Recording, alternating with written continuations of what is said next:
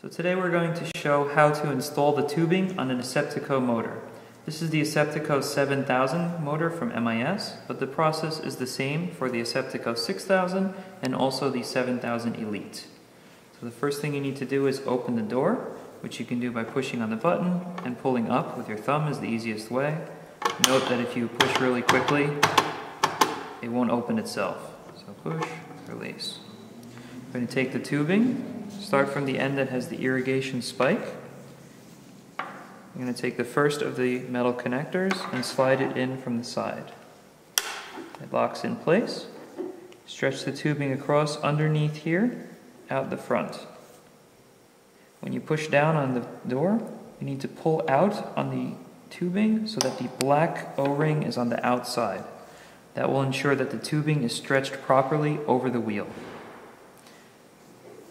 Stretch this over to the side for best results. You don't want to puncture the bag over the motor because if it leaks, you're going to damage your motor.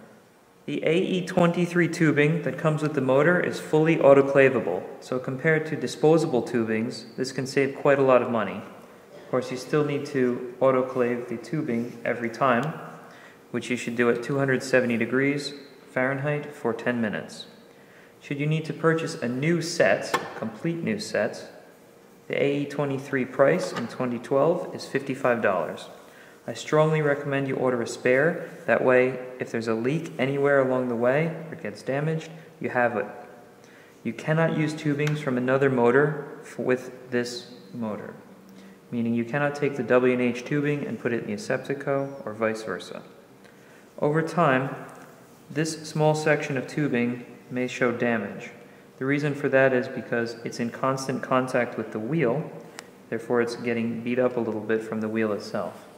This tubing, you might be able to see a little bit of the scuff marks that show. So Aseptico provides every motor with a set of 10 replacement tubings for this section. So all you need to do is cut here and here to pull this section off and replace it with a new one. Remember to keep the black rubber ring in place here because that's your indication that you've got the motor tubing correctly loaded.